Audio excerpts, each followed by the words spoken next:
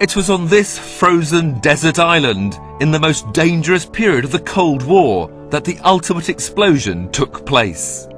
Novaya Zemlya in the Arctic Barents Sea is where the Russians demonstrated their nuclear might, testing bombs of ever increasing power.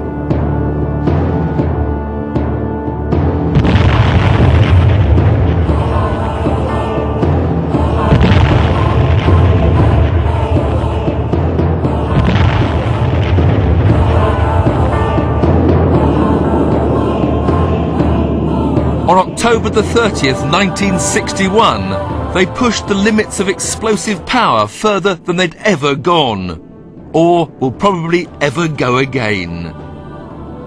This bomb was codenamed the Tsar.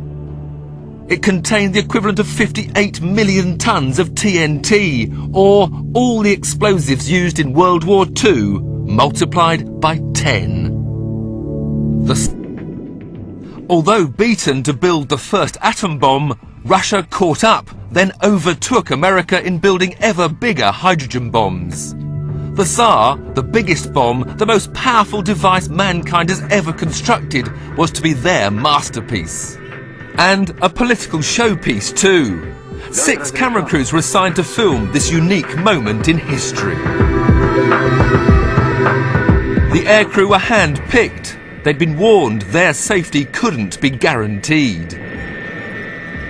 They could avoid being blinded by the light, but being knocked out of the sky was quite possible.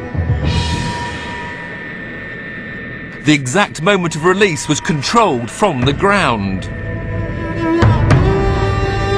The bomb had been given a parachute to slow its descent and give the crew more time to escape.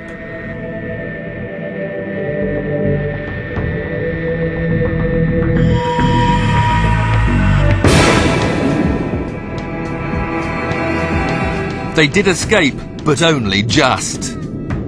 The plume rose right through the cloud layer and kept on rising. It flattened out when the cloud was 40 miles high. The blast wave was still large enough to be measured on its third passage round the world.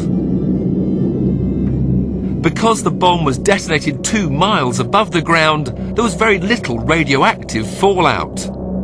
But the earth directly below the burst was seared by the intense heat.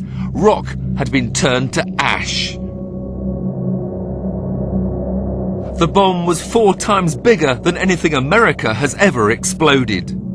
Why something so large? The United States could develop very accurate missiles. The Soviets never mastered that technique very well, and to compensate for that, they really could level a very large in the future as well. And so the soldiers and scientists have packed up and flown away.